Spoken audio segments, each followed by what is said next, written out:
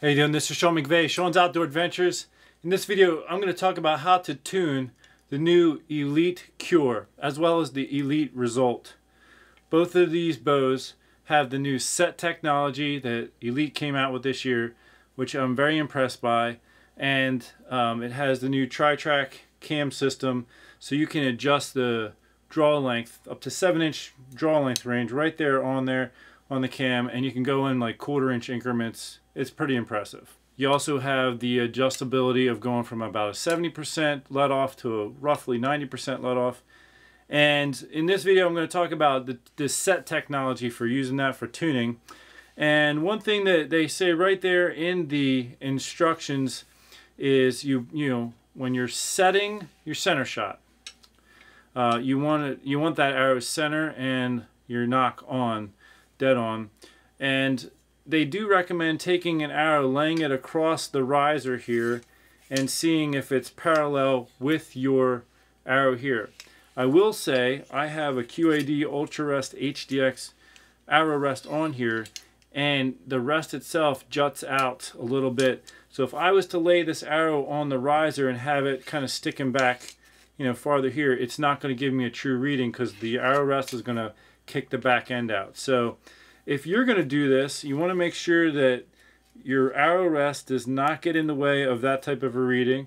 So when I put it on like this, it's fairly close, but it looks like my rest goes out just a little bit. The tips, uh, the tip of my point that's the arrow that's nocked on my string, you know, as I look at that, it's farther away from this arrow here than it is than the arrow is back by my hand. So that means this arrow rest could go in a little bit.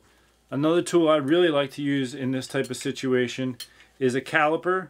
So you just take the back end measure off the riser to the back of the arrow.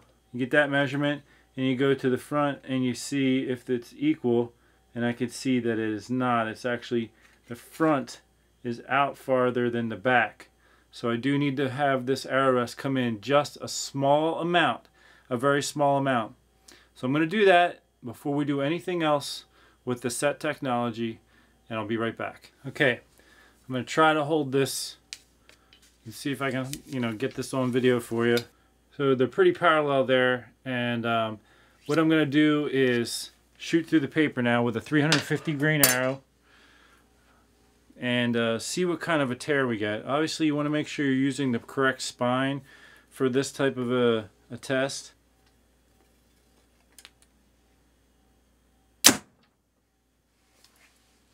Alright, so I basically have pretty much a bullet hole.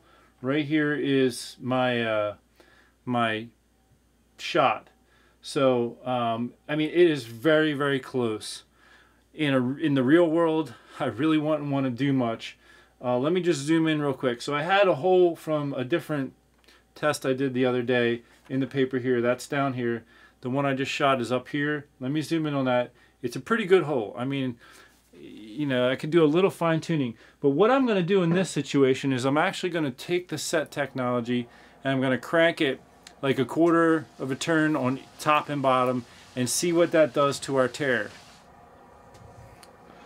So this is the shot I just took right right here. Alright, so let's make an adjustment here. Right here is the lockdown screw, so I'm going to loosen that first. So I loosened the lockdown screw right here. There's also a screw up above that which is for the shoulder. This is your adjustment screw on the side. So let's do, right here is where the Allen wrench is going in. Let's go clockwise a quarter of a turn.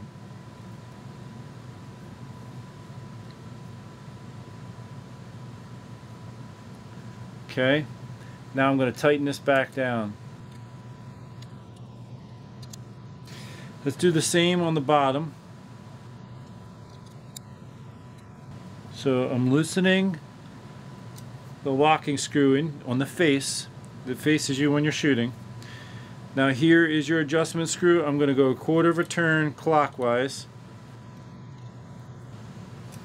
Now I'm going to lock it back in. Let's take a shot. Same exact arrow.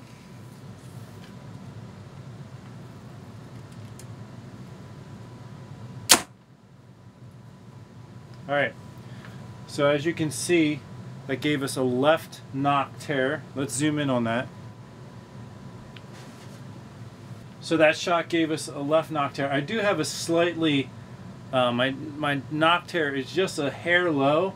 That's just a simple um, very faint movement of the rest. This one here, my first shot, I could see a, a faintly low nock tear right there.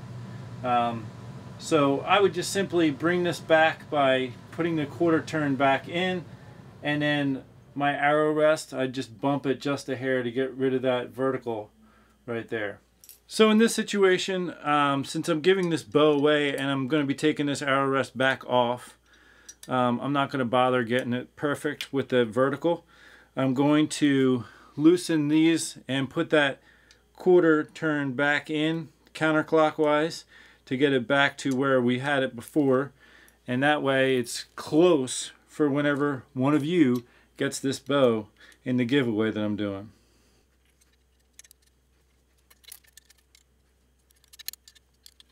And I'll tell you that is really nice. Just a matter of turning some screws. You don't need a bow press. You're not putting twist or removing twist in yokes. Um, really awesome technology. And I was talking to the to the guys at the ATA show, like, how did you think up this idea for this way of tuning?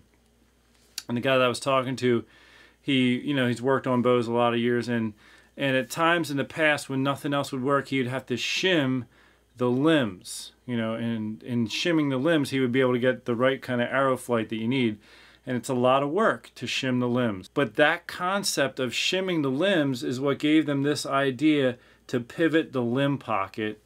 And man, awesome idea. To me, that's a game changer. This is a really neat technology. And it's just a matter of turning the screws. It says right in the owner's manual right here, you know, how to do it. If you um, if you need to turn, if you, you turn it clockwise for a tail right tear, you turn it counterclockwise for a tail left tear. So I put a quarter turn clockwise in. That gave us a left tear and it says turn it counterclockwise for a left tear. So I just simply took a quarter turn back out, turning counterclockwise. That's going to bring me back to here and have this bow ready for one of you. But you can just follow along the instructions right in the owner's manual really easy. Getting the center shots really easy. You just hold another arrow right along there like I showed you. And that put us, I mean, look at how it put us right there. um, just from doing it like that. Came from the factory pretty much, pretty much ready to go. So if you've been following this series on how to be part of the giveaway for this bow, I'm giving this bow right here that I'm holding away in away in the month of August Got to follow my website. I'm going to put an announcement when to register for the giveaway. And the way you win is track the scripture verses that I've been throwing in each video. I'm going to call somebody live and say, hey, what was the scripture verse from this particular video? The scripture verse for this one is 1 Peter 3, 18 through 21. I think this is a really neat passage.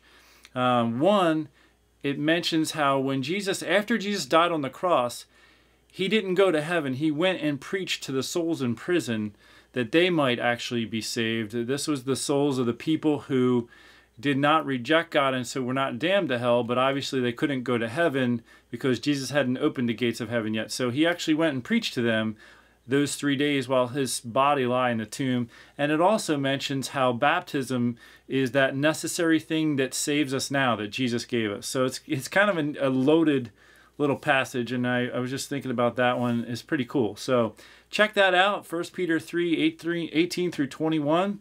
And those of you who are interested in winning this bow for free, make sure you uh, follow the rest of the videos because this one is going away to one of you in the month of August. Looking forward to it. I can't wait to see the smile on someone's face. Until then, take care and God bless.